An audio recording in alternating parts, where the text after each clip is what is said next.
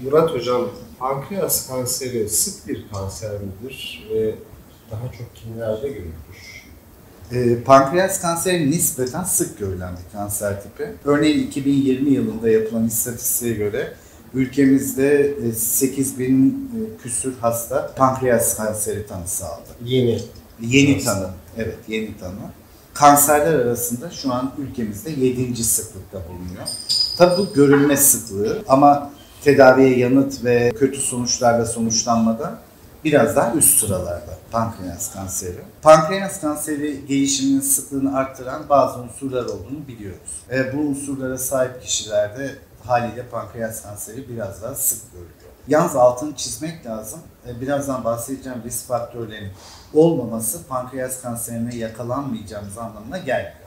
Çoğu hastada da herhangi bir görünür risk faktörü olmadan gelişiyor zaten pankreas kanseri. Bu risk faktörlerini aslında iki sınıfa ayırarak inceleyebiliriz. Bir, hayat içinde edindiğimiz ve değiştirebileceğimiz faktörler. Bir de bizim değiştirmemizin mümkün olmadığı faktörler. Değiştirilebilirler arasında en önemlileri tütün ürünlerinin kullanımı ve alkolizm. Değiştirilemeyecek faktörler ise yaş çünkü pankreas kanserinin bir ileri yaş hastalığı olduğunu biliyoruz.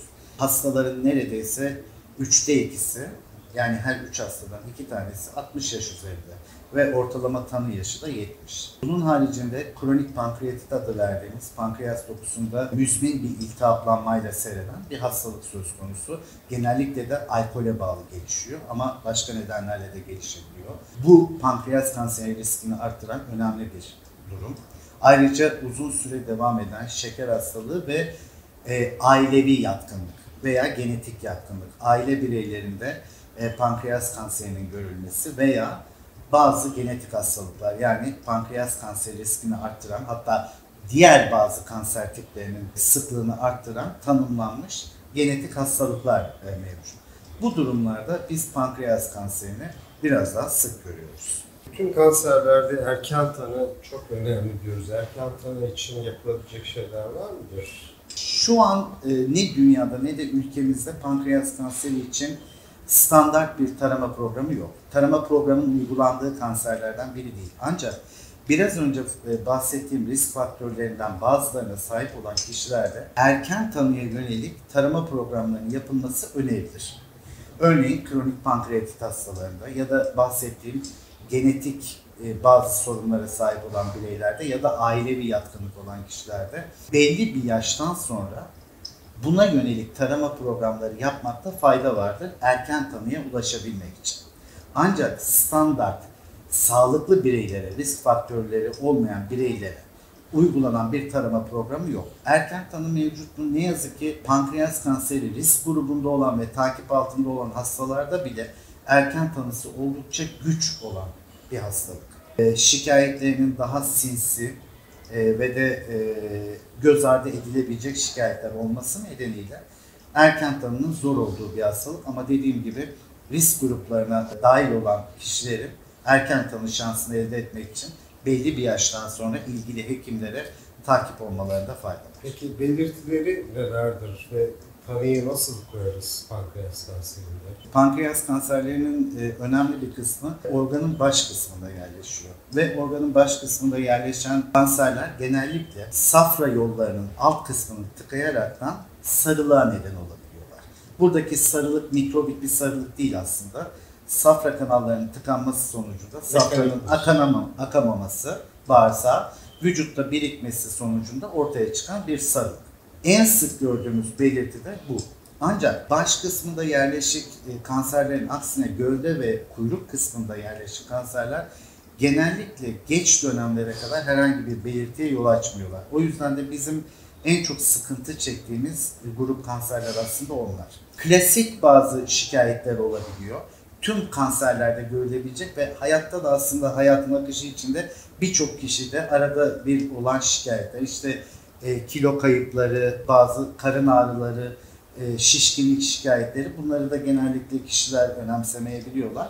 Bir de tabii pankreas kanserinde bizim için en önemli şikayetlerden biri kuşak tarzında, üst karında hissedilen, kuşak tarzında hissedilen ağrı, sırta yansıyan ve insanın yani kuşak tarzı dediğimiz çepeçevre saran bir ağrıdan bahsediyoruz. Sarılıkla birlikte bu ağrı pankreas kanserine özgü olarak gördüğümüz en sık iki belirti. Hastalığın tanısını e, koymak için uyguladığımız yöntemler aslında genellikle görüntüleme yöntemleri ve tanımın da bel kemiğini oluşturuyorlar aslında.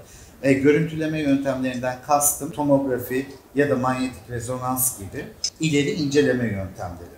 Bizim de pratikte aslında en sık kullandığımız pankreastaki bir hastalıktan şüphelendiğimizde ilk tercih genellikle bilgisayarla tomografi. Özel çekilmiş bir tomografiyi görüyoruz. Bu tomografide pankreas kanserlerinin büyük bir kısmına tanı koymak mümkün. Ama bazı durumlarda bu mümkün olamayabilir ve ileri tanı yöntemlerine başvurmamız gerekebilir. Bu anlamda da bizim en sık kullandığımız yöntemler birincisi manyetik rezonans, ikincisi de endoskopik ultrason dediğimiz bir inceleme yöntemi. Manyetik rezonans yani MR'ı zaten çok duyuyoruz ve biliyoruz. Endoskopik ultrasonu kısaca şöyle anlatayım. Aslında ucunda bir ultrason cihazının olduğu endoskopi bu. Endoskopi ile 12 parmak bağırsağına ya da mideden bu pankreasa komşu organlar olduğu için bu bölgeden endoskopla pankreasın hemen bitişiğinden ultrason incelemesi yapabiliyoruz. Biyopsi alınabilir mi? En önemli zaten haklısınız bu İsmail hocam. Bunun, bu yöntemin en önemli avantajlarından biri de bu. Aynı seansta şüpheli alan gördüğünüzde oradan biyopsi alma şansına sahipsiniz. Rutin bir uygulama olmamakla birlikte evet bu şansa sahipsiniz. Bunu da yeri geldiğinde mutlaka kullanıyoruz. Zararı var mı biyopsinin? Aslında zararı bize şu. Pankreas kanserleri de biyopsi Yani pan- e, kanserin yayılmasına yol açar mı?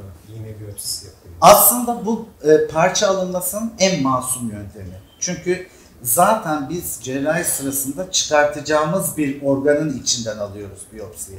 O anlamda nispeten en zararsız yolu bu biyopsi almanın. Ama şöyle bir sıkıntısı var. Pankreas kanserlerinde alınan biyopsinin yanlış sonuç verme olasılığı var. Yani kanser olduğu halde kanser değilmiş gibi sonuç verme olasılığı var. Bizi en çok korkutan yönü bu. Eğer böyle bir durumla karşı karşıya kalırsak hem hasta hem hekim çok ciddi sıkıntıya giriyor. Dolayısıyla biz eğer bizim kararımızı değiştirmeyeceğini düşünüyorsak yani pankreas kanseri açısından çok yüksek şüpheye sahipse biyopsi almamızı gerektiren sadece iki durum doğuyor. Birincisi kanserin cerrahi uygulanamayacak kadar ileri bir aşamada olması ve bizim öncelikle kemoterapiyle başlayacağımız durumlar. Bu durumda mutlaka biyopsi alıyoruz. Bir de pankreas kanserini çok iyi taklit eden nadir hastalıklar var. Bunlar açısından da çok ciddi şüphemiz varsa o zaman biyopsi almayı tercih ediyoruz. Ama bunun dışında rutin bir uygulama değil. Tanıdan sonra her türlü kanserin bir e, klinik evrelemesi yapılması gerekiyor. E, pankreas kanserinde bunu nasıl yapabiliriz? Yani çok haklısınız. Evreleme bizim için çok kritik. Çünkü biz hastalığın tedavisini evresine göre yapıyoruz. Evrelemede de genellikle tanı için yaptığımız yöntemler bizim için yeterli oluyor. Çok e, şüpheli durumlar haricinde iyi çekilmiş bir göğüs ve karın e, bilgisayarlı tomografisi aslında bizim evreleme yapmamız için yeterli. Bizim burada baktığımız iki tane husus var. Zaten evrenin unsurları da bunlar. Kanser bulunduğu bölgede ne ölçüde yayılmış, bulunduğu bölgenin dışında uzak organlara gitmiş mi gitmemiş mi? Bunu değerlendiriyoruz biz. Ve bilgisayarlı tomografide çoğu zaman bizim için bu anlamda yeterli. Pankreas kas- kanserini nasıl tedavi ederiz? Nasıl kurtuluruz bu hastalıktan? Kitabi bilgi yani 30-40 senelik kitabi bilgi hala da ne yazık ki değişmedi.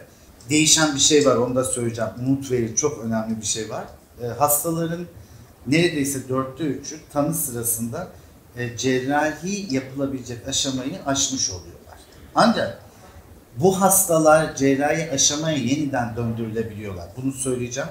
Birazdan da açıklayacağım. Bizim ilk 3 evrede tercih ettiğimiz zaten pankreas kanserinin tek etkili tedavisi cerrahi. Bunu biliyoruz. Dolayısıyla hastalığın değerlendirirken bizim baktığımız en önemli kriter de bu. Hasta cerrahi tedavi için iyi bir aday mı değil mi? Bizim için bu cevap çok önemli çünkü tek etkili tedavi cerrahi.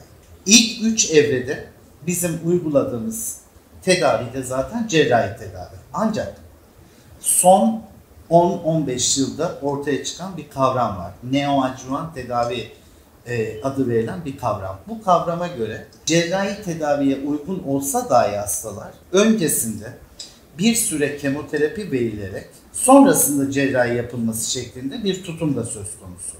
İlk 3 evre için bizim genellikle uyguladığımız tedavi, iki tedavi yöntemi de bu. Ya doğrudan cerrahi ya da öncesinde kemoterapi ve sonrasında cerrahi. Ancak evre 4 dediğimiz yani artık hastalığın bulunduğu bölgede sınırlı değil de uzak organlara yayıldığı evrede artık sistemik tedavi devreye giriyor. Yani kemoterapi devreye giriyor. Eskiden bu hastalığın artık evre 4 hastalığın artık tedavi edilemez olduğu düşünülürdü. Ancak günümüzde e, mevcut kullanımda olan e, kemoterapi ilaçları artık o kadar e, çeşitlendi ve güçlü hale geldi ki biz bu hastaların önemli bir kısmını dahi kemoterapiyle yeniden cerrahi tedavi uygulanabilecek evreye geri getirebiliyoruz. Cerrahi tedavi başarısını arttırabilir mi? En önemli noktalardan bir tanesi de aslında bu. Ee, yapılan son dönem yapılan çalışmalar gösteriyor ki öncesinde kemoterapi alan hastalarda hem cerrahi tedavinin sonuçları bir miktar daha iyi, onkolojik sonuçları tabii ki. Yani kanser tedavisi sonuçları daha iyi ve cerrahi de bazen teknik olarak daha kolay hale gelebiliyor. Bu da bir gerçek. Pankreas kanseri cerrahisi sadece açık mı yapılabilir? Minimal invaziv cerrahi yöntemleriyle yapılma şansımız var mı? Zaten kapalı e, ameliyatların yapılma sıklığı giderek artmaya başladı pankreasta. Evet, e, tecrübeli merkezlerde deneyimli ekipler pankreas ameliyatlarının neredeyse tamamını kapalı yöntemle gerçekleştirebiliyor. Kapalı yöntemler derken e, bahsettiğiniz e, laparoskopik ve robotik yöntemler var. Bu iki yöntemde de pankreas kanserine yönelik pankreas ameliyatları tamama yakın dediğim gibi kapalı yöntemle gerçekleştirilir. Peki hastalıktan kurtulmak mümkün mü? E, Bu sorunun siz de çok iyi bilirsiniz ki eskiden cevabı e, çoğu zaman hayırdı. Evet artık mümkün. Elimizdeki mevcut tedavi seçenekleri ve cerrahi e, tedavideki gelişmeler sayesinde e, hastaların neredeyse yüzde 40'ına varan oranında e, biz 5 seneyi aşkın sağ kalım e, yaşam beklentisi elde edebiliyoruz.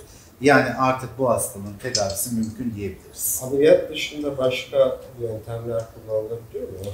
Ameliyat dışında bizim e, tercih ettiğimiz zaten e, ameliyat olsun olmasın tedavinin en önemli unsurlarından bir tanesi sistemik tedavi yani kemoterapi.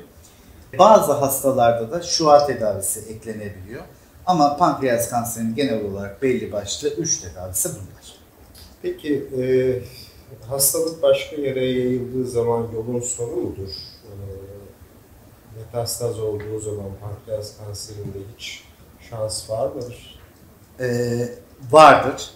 E, pankreas kanseri dördüncü evrede olsa dahi e, kemoterapi ilaçlarıyla tedavi edildikten sonra tedaviye çok iyi yanıt alınan ve yanıtın tutarlı bir şekilde devam ettiği hastalarda biz bunu tümör konseylerinde konuşup tabi hasta bazında her hastaya özel konuşup cerrahi uyguladığımız hastalar ve çok iyi sonuçlar elde ettiğimiz hastalar var. Peki çok teşekkür ediyorum. Ben teşekkür ederim İsmail Hocam.